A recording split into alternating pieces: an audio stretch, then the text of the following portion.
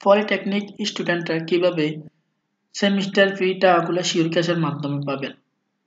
হ্যাঁ আপনার যদি একটা শিওর ক্যাশ অ্যাকাউন্ট থাকে, তাহলে আপনার টাকাগুলো আপনি শিওর ক্যাশের মাধ্যমে পাবেন।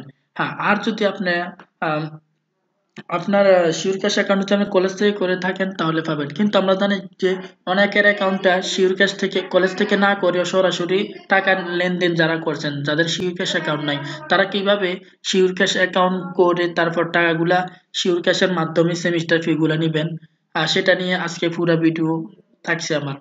তো পুরো ভিডিওটা দেখলে আপনারা শিওর ক্যাশ সম্পর্কে যত কনফিউজ আছে সবকিছু ভুলে যাবেন। সবকিছু শিখে নেবেন।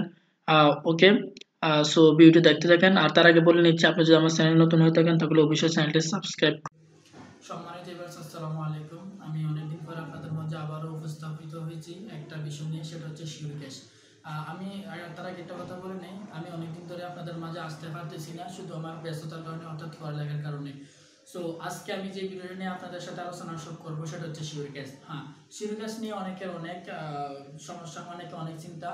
আমরা জানি যে যারা নতুন প্রথমে কলেজে ভর্তি হয়েছিল, তাদেরকে অ্যাকাউন্ট ভর্তির সাথে সাথে শিওর ক্যাশ করে দিয়েছিল, যারা ফার্স্ট ফার্স্ট শিফটে চান্স হয়েছিল।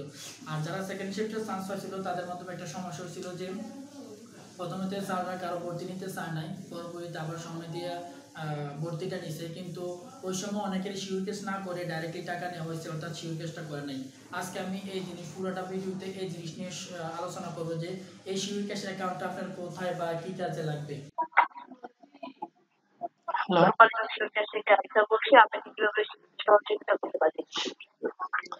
ম্যাডাম আমার যে সমস্যাটা আমি টেকনিক্যাল পড়ালেখা করি।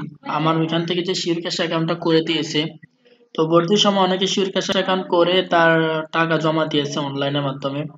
তো আমি সরাসরি কলেজে জমা দিছি। এখন শুনলাম শিওর ক্যাশে নাকি উপবৃত্তির টাকাগুলো দেওয়া যায়। আমার তো ক্যাশ অ্যাকাউন্ট নাই এখন আমি কি করব?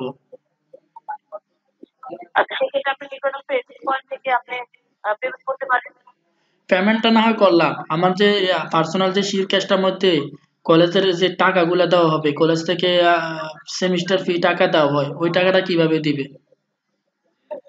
আচ্ছা তাহলে সবাই যেহেতু অ্যাকাউন্ট করেছে আপনিও করবেন। কলেজ থেকে তো এখন আর অ্যাকাউন্ট করার নিয়ম নাই এখন কি করব? আর বাইরে থেকে করবেন আপনি এসএস পয়েন্ট থেকে আমি এজেন্ট পয়েন্ট থেকে আমার এনআইডি কার্ড দিয়ে যদি শিওর ক্যাশ অ্যাকাউন্ট করি এখন কি আমার শিওর ক্যাশের মাধ্যমে কলেজের টাকাগুলো দেওয়া যাবে? জি অবশ্যই। আপনি যদি এখন অ্যাকাউন্ট করে স্যার আপনি ফোনে লাউড স্পিকার কমিয়ে কথা বলুন। জি বলেন। জি এখন যদি আপনি জি বলেন বলেন।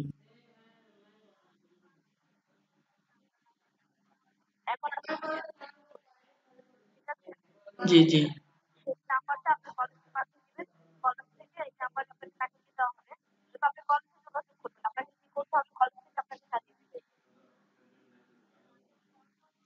ওকে ধন্যবাদ।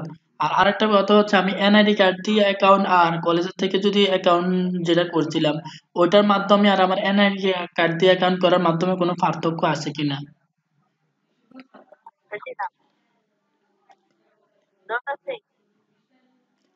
ওকে ম্যাডাম ধন্যবাদ। আপনাকে ধন্যবাদ। ওকে তো আপনারা দেখতে পেলেন যে আমি শির ক্যাশের একজন অপারেটারের সাথে কথা বলছিলাম। উনি আপনাদেরকে বুঝেছে এটাই যে, আপনার যে, আমরা যে এনআইডি কার্ড দিয়ে যে শিওর ক্যাশগুলো করি, সেটার মাধ্যমে আর কলেজ থেকে যে শিওর অ্যাকাউন্টটা করে দেয়, এটার মধ্যে কী তফাৎটা রয়েছে?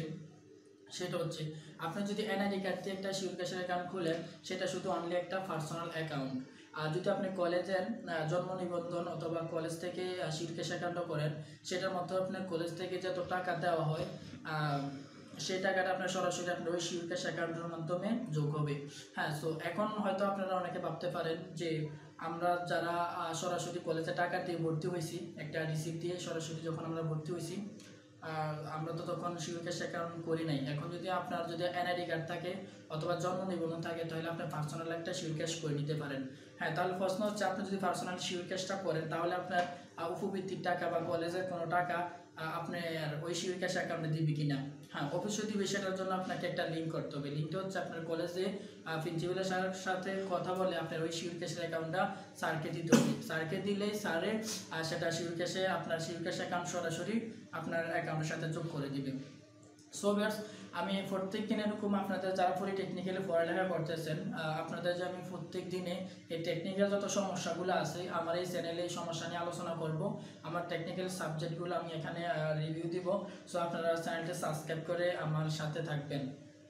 ওকে ধন্যবাদ।